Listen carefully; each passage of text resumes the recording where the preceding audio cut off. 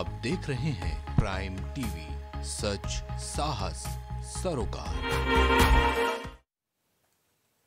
नमस्कार prime TV में आपका स्वागत है। मैं हूँ आपके साथ शिखा मेहरोत्रा शुरुआत करते हैं चार बजे की चार बड़ी खबरों की। देश के उपराष्ट्रपति वेंकैया नायडू यूपी के दौरे पर हैं। वहीं इस दौरान उन्होंने अयोध्या धाम में रामलला के दर्शन किए और हनुमानगढ़ी में मत्था टेका। उपराष्ट्रपति वेंकैया नायडू ने अयोध्या में मंदिर निर्माण कार्यो की समीक्षा भी की। बता दें कि लखनऊ से स्पेशल ट्रेन के ज़रिए अयोध्या स्टेशन पहुँचे वेंकैया नायडू। उन्होंने यूपी की राज्यपाल आनंदीबेन पटेल और सूबे के दोनों डिप्टी सीएम ने उनका जोरदार स्वागत भी किया। साथ ही वेंकैया नायडू, पीएम मोदी के संसदीय क्षेत्र वाराणसी भी जाएँगे। यहाँ काशी विश्वनाथ धाम समेत अन्य मंदिरों में दर्शन पूजन के बाद पंडित दीनदयाल उपाध्याय जंक्शन स्थित स्मृति स्थल भी जाएँगे उपराष्ट्रपति। तो तस्वीरों में देख सकते हैं आप, उपराष्ट्रपति के यूपी दौरे को लेकर सुरक्षा व्यवस्था काफ़ी चाक चौबंद है। साथ ही साथ अयोध्या और काशी जाएँगे। बड़े मंदिरों के दर्शन भी करेंगे। आपको बता दें कि पूजन दर्शन करने दीनदयाल, पूजन दर्शन के बाद पंडित दीनदयाल उपाध्याय जंक्शन स्थित स्मृति स्थल भी जाएँगे।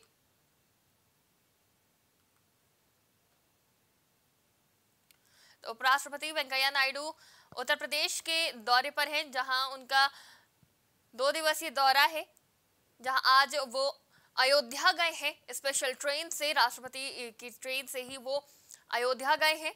लखनऊ के, लखनऊ से स्पेशल ट्रेन के ज़रिए अयोध्या पहुँचे हैं। आपको बता दें कि जब लखनऊ आए उपराष्ट्रपति वेंकैया नायडू तो उनका भव्य स्वागत किया गया। सीएम योगी आदित्यनाथ, राज्यपाल आनंदीबेन पटेल और दोनों डिप्टी सीएम द्वारा उनका भव्य स्वागत किया गया। सूबे के दोनों डिप्टी सीएम ने जोरदार स्वागत किया। साथ ही साथ वेंकैया नायडू, पीएम मोदी के संसदीय क्षेत्र वाराणसी भी जाएँगे, जहाँ वो काशी विश्वनाथ धाम समेत कई मंदिरों के दर्शन पूजन करेंगे और आज वो हनुमानगढ़ी और रामलला के दर्शन करने के लिए राम जन्मभूमि पहुँचे। साथ ही साथ राम मंदिर निर्माण का जो जायजा लेने भी पहुँचे कार्य जिस तरह से प्रगति पर चल रहा है, उसका भी जायजा लेने पहुँचे। तो जब आज वेंकैया नायडू पहुँच रहे हैं, उपराष्ट्रपति वेंकैया नायडू रामलला के दर्शन करने पहुँचे, हनुमानगढ़ी के दर्शन करने पहुँचे तो सुरक्षा व्यवस्था आप देख सकते हैं स्पेशल ट्रेन से अयोध्या गए हैं, लखनऊ से अयोध्या स्पेशल ट्रेन द्वारा गए हैं और वहाँ पे राम लला के मंदिर के जो निर्माण कार्य है, वो काफ़ी तेज़ी से चल रहा है और उसी का जायजा लेने भी पहुँचे, साथ ही साथ दो दिन के दौरे पर है, उपराष्ट्रपति दर्शन पूजन के लिए उत्तर प्रदेश आए हैं और उनके दौरे को ध्यान में रखते हुए सुरक्षा व्यवस्था बढ़ा दी गई है, चाक चौबंद कर दी गई है। और इस खबर पे हमारे साथ ज़्यादा बातचीत के लिए संवाददाता राघवेंद्र जुड़ चुके हैं अयोध्या से। राघवेंद्र, उपराष्ट्रपति दो दिवसीय दौरे पर हैं, उत्तर प्रदेश के आज अयोध्या गए हैं और उनका काशी का भी दौरा है। अगर बात करी जाए अयोध्या दौरे की तो कहाँ कहाँ दर्शन कर लिए हैं और रामलला के मंदिर के निर्माण कार्य की समीक्षा की भी बात सामने आई है। क्या कुछ रहा आज का कार्यक्रम? जी बिल्कुल अगर बता दें आपको अयोध्या दर्शन की तो अयोध्या दर्शन पे उन्होंने सबसे पहले जो है वो रामलला पहुँचे हैं। रामलला पे दर्शन पूजन किया है उसके बाद वहाँ प्रेजेंटेशन किए हैं। प्रेजेंटेशन देने लेने के बाद वो पहुँचे हैं हनुमानगढ़ी दर्शन के लिए। तो हनुमानगढ़ी दर्शन किया है उन्होंने। हनुमानगढ़ी दर्शन करने के बाद वो सरयू घाट पहुँचे हैं वहाँ पे जलाभिषेक किया है। वहाँ पे पूजन अर्चन किया है। पूजन अर्चन करने के बाद ये सीधे वहाँ से निकले हैं लगभग दो बज के पैंतालीस मिनट पर बनारस के लिए। जी। जी अगर बात करी जाए सुरक्षा व्यवस्था की और साथ ही साथ उनके साथ मौजूद लोगों की तो कौन कौन साथ में मौजूद रहा और कैसी सुरक्षा व्यवस्था देखने को मिली राघवेंद्र? देखिए उनके साथ में अगर उनके साथ की बात की जाएगी तो, तो उनके साथ में उत्तर प्रदेश के जो मुख्यमंत्री उप मुख्यमंत्री हैं केशव प्रसाद मौर्य जी हैं और राज्यपाल है आनंदीबेन पटेल है। उप मुख्यमंत्री ब्रजेश पाठक जी तो और और इनके साथ में कई मंत्री ऐसे रहे हैं जो इनके साथ में रहे हैं। और आला कमान जो वहाँ से हैं, अधिकारी हैं, वो लोग यहाँ रहे हैं। जी। जी, बिल्कुल। बहुत बहुत शुक्रिया हमारे साथ जुड़ने के लिए तमाम जानकारी के लिए। इस खबर पर हमारे साथ संवाददाता राघवेंद्र जुड़े थे अयोध्या से। तो आज अयोध्या दौरे पर हैं और अब पूरे दिन पूजा पाठ करेंगे।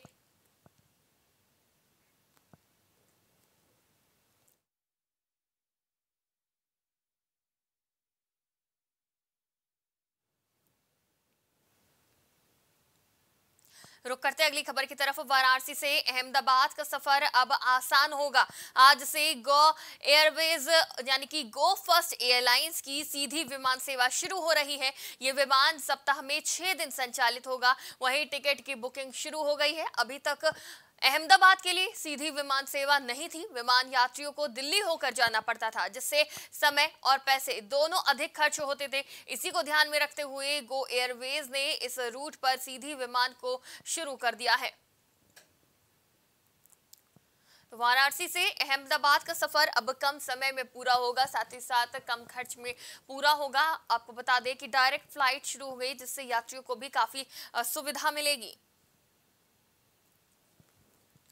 तो कोरोना के चलते इस फ्लाइट्स को बंद किया गया था, रोक लगाई गई थी। हालाँकि कोरोना के बाद अब इसे जब शुरू किया गया है तो डायरेक्ट फ़्लाइट कर दी गई है। आपको बता दें कि अहमदाबाद फ्लाइट्स जाती थी, लेकिन वो लॉन्ग रूट से होके जाती थी, जिसकी वजह से किराया भी ज़्यादा पड़ता था और लंबे सफ़र की वजह से समय भी काफ़ी बर्बाद होता था लोगों का, जिसकी वजह से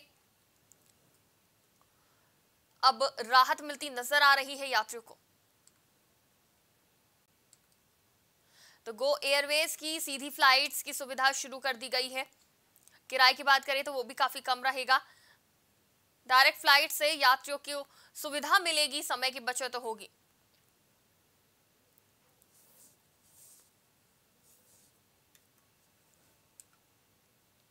तो वाराणसी से अहमदाबाद का सफ़र अब आसान हो गया है। वाराणसी इंटरनेशनल एयरपोर्ट से अब डायरेक्ट फ़्लाइट मिल सकती है अहमदाबाद के लिए, जहाँ आज के समय में बिज़ी लाइफ में लोग चाहते हैं कि उनका समय बचे और ऐसे में अब ये बड़ी सुविधाजनक खबर सामने आ रही है। और इस खबर पे हमारे साथ ज़्यादा बातचीत के लिए संवाददाता गौरव श्रीवास्तव जुड़ चुके हैं। गौरव, सभी अपने समय और पैसे की बचत चाहते हैं और अब जिस तरह से गो फ़र्स्ट एयरलाइन ने ये सुविधा प्रदान करी है तो किस तरह से देखते हैं इसे? कितनी समय और पैसों की बचत हो सकती है इससे?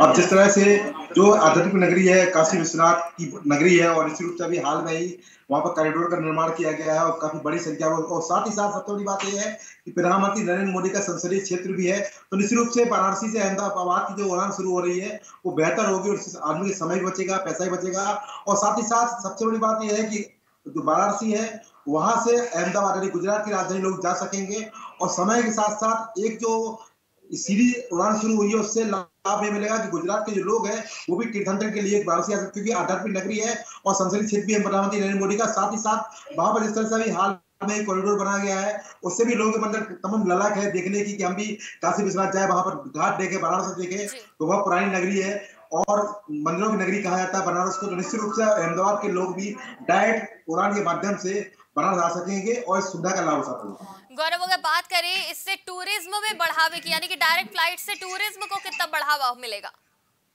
देखो टूरिज़्म बढ़ावा मिलेगा मैंने आपको बताया कि अब गुजरात से लोग भी यहाँ पर आ सके डायरेक्ट फ़्लाइट यहाँ पर हो गई अभी तक घूम के जाना पड़ता था और रूप से पैसा भी बचेगा समय बचेगा और जिस तरह से बनारस का अपने एक नाम है आध्यात्मिक नगरी है प्रधानमंत्री के संसदीय क्षेत्र वो लगातार इसको बेहतर करने का प्रयास कर रहे हैं जल सेवा भी वहाँ पर व्यवस्थाएँ की गई है बोट भी बोटिंग भी वहाँ शुरू की गई है। और जिस तरह से लगातार बनारस पे काम हो रहा है तो निश्चित रूप से आने वाले समय में बनारस और बेहतर होगा। और निश्चित रूप से जब कई जगह की डायरेक्ट फ़्लाइट वहाँ पर बनारस से हो जाएगी तो जो पर्यटन है, वो भी क्षेत्र बढ़ेगा और लोगों को जो रोज़गार के साधन उपलब्ध कराए जा सकेंगे। जी, बिल्कुल, बहुत बहुत शुक्रिया हमारे साथ जुड़ने के लिए तमाम जानकारी के लिए। इस खबर पर हमारे संवाददाता गौरव श्रीवास्तव जुड़े थे तो सीधे तौर पर टूरिज़्म को बढ़ावा मिलेगा और साथ ही साथ लोगों के समय की भी बचत होगी।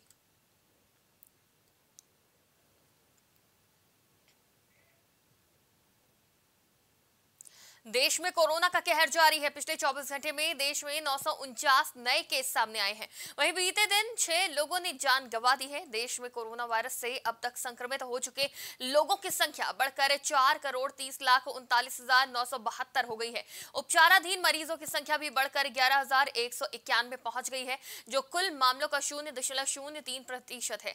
बता दें कि पिछले चौबीस घंटे में उपचाराधीन मरीजों की संख्या में एक सौ तैंतीस की बढ़ोतरी दर्ज की गई। वहीं दूसरी ओर गाजियाबाद में भी कोरोना का साया बढ़ता हुआ नज़र आ रहा है, जहाँ गाजियाबाद के कई स्कूलों में शिक्षक और छात्र भी कोरोना की चपेट में आ गए हैं। तो कोरोना के मामले लगातार बढ़ते हुए नज़र आ रहे हैं। तो वहीं अब जो दिल्ली में भी कोरोना के मामले सामने आने लगे तो दिल्ली सरकार भी अहम फैसला ले सकती है और आज ये बात सामने आई है कि अहम निर्देश दे सकती है, क्योंकि दिल्ली से सटे नोएडा और गाजियाबाद में कोरोना के मामले लगातार सामने आ रहे हैं। इस बार जब कोरोना के मामले सामने आ रहे तो इसमें सबसे ज़्यादा बच्चे ही प्रभावित नज़र आ रहे हैं। यानी कि स्कूली बच्चे जिनकी उम्र 18 साल से कम है, वो कोरोना संक्रमित पाए जा रहे हैं और स्कूल अभी खुले ही थे। ऐसा माना जा रहा था कि नए सेशन में बच्चे अच्छे से पढ़ाई करेंगे। दो साल जो कोरोना में खराब हो गए हैं, इस बार उससे राहत मिलेगी। बच्चों की पढ़ाई सुचारू रूप से चलेगी, लेकिन एक बार फिर बच्चों की पढ़ाई लिखाई पर और जीवन पर कोरोना का साया मंडराता हुआ नज़र आ रहा है। देश में एक बार फिर कोरोना के मामले सामने आए हैं। नौ सौ उनचास नए मामले सामने आए हैं। कोरोना के मामले एक बार फिर बढ़ने लगे हैं। बीते छह दिनों में बीते दिनों की बात करें तो छह लोगों की मौत हुई बीते दिन कोरोना से और कोरोना के मामले जिस तरह से कहर ढा रहे हैं, ये काफ़ी चिंताजनक स्थिति और इस बार बच्चों के ऊपर जिस तरह से कोरोना का साया देखने को मिल रहा है, ये काफ़ी चिंताजनक स्थिति है।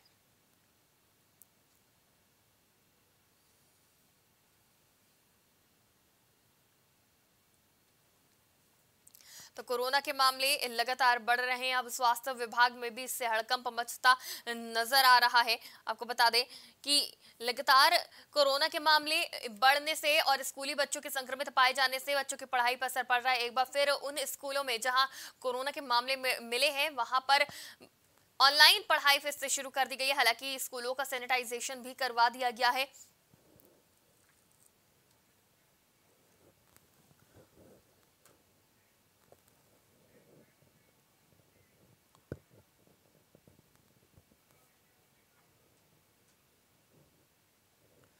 तो कोरोना के नौ सौ उनचास मामले, यानी कि करीब एक हज़ार के करीब मामले सामने आए हैं कोरोना के और बच्चों के संक्रमित होने से उनकी पढ़ाई तो प्रभावित हो रही है। वहीं अब बच्चों के जो माता पिता हैं, जो परिवार है, वो भी कहीं ना कहीं परेशान होता नज़र आ रहा है क्योंकि देश ने कोरोना की गंभीर स्थिति का सामना किया है। और जब बात आती है बच्चों पे तो सभी सहम जाते हैं और जब अब बच्चे कोरोना संक्रमित हो रहे हैं, इससे पहले भी कई बार बच्चों के लिए वैक्सीन की मांग भी उठी थी। तो इस बार फिर ऐसा, ऐसी स्थिति उत्पन्न होती नज़र आ रही है, जहाँ माता पिता काफ़ी परेशान हैं और बच्चों के वैक्सीनेशन के लिए सरकार की तरफ़ आस भरी नज़रों से भी देख रहे हैं। और इस खबर पर हमारे ज़्यादा बातचीत के लिए गाजियाबाद से संवाददाता प्रवीण मिश्रा जुड़ चुके हैं। प्रवीण, लगातार दिल्ली से सटे नोएडा, गाजियाबाद में कोरोना के मामले सामने आ रहे हैं। खासतौर से बच्चे कोरोना संक्रमित मिल रहे हैं। अब इसको देखते हुए क्या कुछ सावधानियाँ बरती जा रही है स्कूल की तरफ़ से? देखिए आपको बता दूँ शिखा कि जो इस समय जो गाजियाबाद में कोरोना बम विस्फोट हुआ है खासतौर पर बच्चों को लेकर इसमें अभिभावक काफ़ी परेशान नज़र आ रहे हैं। कहीं ना कहीं स्कूल जिस तरह से जो आ, किसी तरह से स्कूल खोले गए हैं कहीं ना कहीं उनको लेकर भी अब चिंता जताई जा रही है अभिभावकों द्वारा। क्योंकि जिस तरह से स्कूल बंद थे अभिभावक भी परेशान थे कि बच्चे हमारे घर पे नहीं पढ़ पा रहे हैं, किसी तरह से जब स्कूल खुले हैं, उसके बाद से बच्चों के अंदर में जिस तरह से कोरोना संक्रमण का जो केसेज लगातार बढ़ते नज़र आ रहे हैं, कहीं ना कहीं चिंता का विषय बन गया है। और खासतौर पर अगर स्वास्थ्य विभाग की बात की जाए तो स्वास्थ्य विभाग के अंदर भी काफ़ी हलचल मची हुई है इस मामले को लेकर। जी। जी, अगर बात करी जाए दिल्ली की तरफ़ से जो आज बड़ी जानकारी आई है कि दिल्ली सरकार नए दिशा निर्देश दे सकती है स्कूलों के लिए, जिस तरह से बच्चे संक्रमित पाए जा रहे हैं, उसको देखते हुए क्या कहेंगे कि नोएडा गाजियाबाद में भी ये एसओपी जारी होगी जो दिल्ली की तरफ़ से दी जाएगी? जी, बिल्कुल। खास तौर पे दिल्ली को महत्वपूर्ण इसलिए माना जाता है कि दिल्ली राजधानी है। राजधानी के हिसाब से अगर देखा जाए दिल्ली से सटा हुआ गाजियाबाद, नोएडा भी है, जहाँ पर काफ़ी बच्चे दिल्ली से नोएडा गाजियाबाद पढ़ने के लिए आते हैं, क्योंकि गाजियाबाद, नोएडा में खास तौर पे बड़े बड़े स्कूल हैं। उनको लेकर खासतौर पे जो अभिभावक हैं, वो बच्चों को यहाँ भेजते हैं पढ़ने के लिए तो कहीं ना कहीं अब जो इस समय जो कोरोना के केसेस लगातार जो बढ़ते नज़र आ रहे हैं, गाजियाबाद समेत नोएडा, एनसीआर के अंदर में तो कहीं ना कहीं इसको लेकर भी काफ़ी बड़ी चिंता जताई जा रही है। हो सकता है कि वर्ल्ड वर्ल्ड हेल्थ ऑर्गेनाइजेशन ने जो डब्ल्यूएचओ ने जो रिपोर्ट जारी करी थी कि चौथी जो लहर आ रही है, उसके, उसमें जो वेरिएंट रहेगा, जो कोरोना का तो वो कहीं ना कहीं खासतौर पर स्वास्थ्य विभाग भी इसमें हलचल मची हुई है कि कैसा ना हो कि जो चौथी लहर का वेरिएंट आने वाला है, उसको लेकर भी कहीं, क्योंकि जो अभी जो टेस्ट हो रहे हैं टेस्ट में खासतौर पर ये देखा जा रहा है कि जो पुराना वेरिएंट था, उसी को लेकर ये कोरोना वायरस लगातार बच्चों के अंदर फैल रहा है या बच्चों के अंदर कोई नया वेरिएंट आया है, उसको लेकर भी काफ़ी चिंता जताई जा रही है। जी। जी, प्रवीण, अगर बात करी जाए उन बच्चों की जो संक्रमित हुए उनकी उम्र क्या है और क्या उसमें वैक्सीनेटेड बच्चे भी शामिल है, कोई जानकारी? देखिए, मैं बता दूँ आपको, इस समय जो बच्चे जो, जिसमें जो कोरोना के जो संक्रमित बच्चे पाए जा रहे हैं, इस समय तो कुछ छोटे बच्चे हैं जिनकी उम्र जो लगभग है, उनकी आठ से दस साल की उम्र बताई जा रही है और लगभग जो अभी तक गाजियाबाद, नोएडा समेत जो बच्चे कोरोना पॉजिटिव पाए गए हैं, उनमें भी खासतौर पर कुछ सत्रह साल की उम्र के बच्चे भी हैं जिनमें कोरोना की रिपोर्ट आई है। जी। जी, बिल्कुल, बहुत बहुत शुक्रिया हमारे जुड़ने के लिए, तमाम जानकारी के लिए। इस खबर पर हमारे संवाददाता प्रवीण जुड़े थे गाजियाबाद से।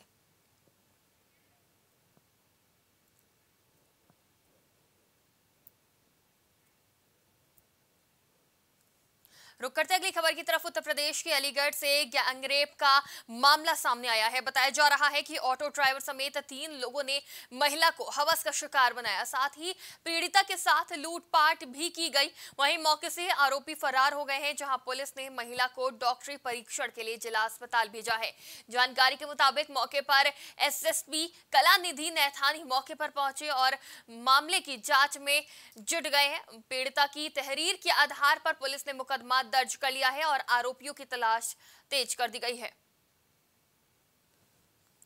तो ऑटो ड्राइवर समेत तीन लोगों ने ये दुष्कर्म को अंजाम दिया है। अलीगढ़ से ये बड़ी खबर सामने आ रही है। आपको बता दें कि दुष्कर्म के साथ साथ लूटपाट की घटना को भी अंजाम दिया गया है। उत्तर प्रदेश के अलीगढ़ से गैंगरेप का ये मामला सामने आ रहा है। ऑटो ड्राइवर समेत तीन लोगों ने महिला को हवस का शिकार बनाया है। साथ ही पीड़िता के साथ लूटपाट भी की गई है और मौके से आरोपी फरार हो गए हैं। और अब इन्हीं फरार आरोपियों की तलाश में पुलिस जुट गई है। पुलिस ने महिला को डॉक्टरी परीक्षण के लिए भेज दिया है और साथ ही साथ जानकारी के मुताबिक मौके पर एसएसपी कलानिधि नैथानी मौके पर पहुँचे और मामले की जाँच में जुट गए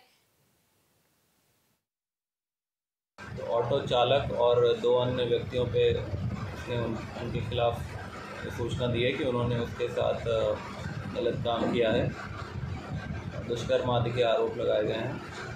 मौके पर अधिकारियों द्वारा और थाना प्रभारी की टीम द्वारा और जनपद की क्राइम टीम द्वारा मौका मुआयना करते हुए जो भी इसमें संदिग्ध हैं उनकी गिरफ्तारी हेतु टीमें बनाकर सीसीटीवी फुटेज और अन्य कार्रवाइयाँ जारी हैं और एफआईआर पंजीकृत कर ली गई है। महिला का मेडिकल करा दिया गया है।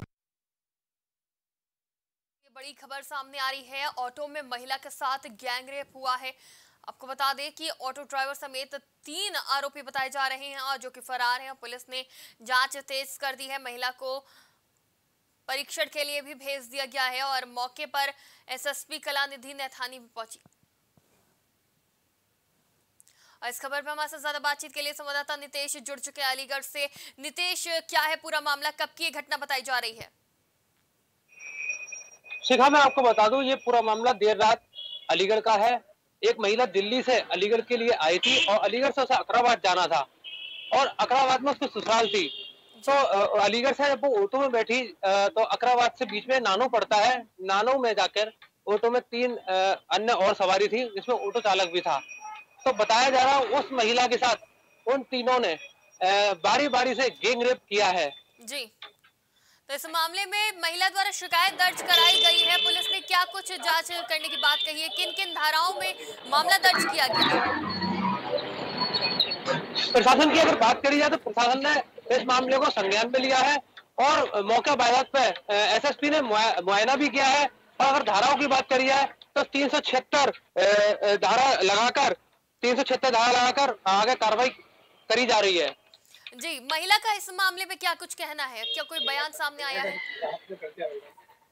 महिला अगर महिला की बात करी जाए तो महिला की जाँच के लिए इसे मेडिकल कॉलेज में एडमिट कराया गया है और महिला के चोटें भी आई है काफ़ी तो और आगे देखना होगा क्या स्थिति रहेगी पुलिस क्या करेगी और देखना होगा कि आरोपियों की तलाश जारी है क्या आरोपी पकड़े जाएँगे। जी अगर महिला की बात करी जाए तो वो कहाँ की रहने वाली है और उसके साथ क्या उसके परिजन मौजूद है? अगर महिला की बात करी जाए तो वो दिल्ली की रहने वाली है। दिल्ली में उसकी ससुराल है दिल्ली में उसका मायका है और उसके अकराबाद में ससुराल है। तो वो दिल्ली से अकराबाद के लिए अपने ससुराल जा रही थी। देर रात उसके साथ ये हादसा हुआ है। जी बिल्कुल। बहुत बहुत शुक्रिया हमारे साथ जुड़ने के लिए। तमाम जानकारी के लिए इस खबर पर हमारे साथ संवाददाता नितेश जुड़े थे अलीगढ़ से।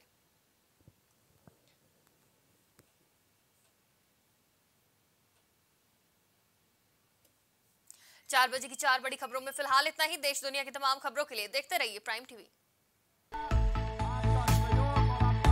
कुछ भाव पुष्प। आप देख रहे हैं प्राइम टीवी सच साहस सरोकार।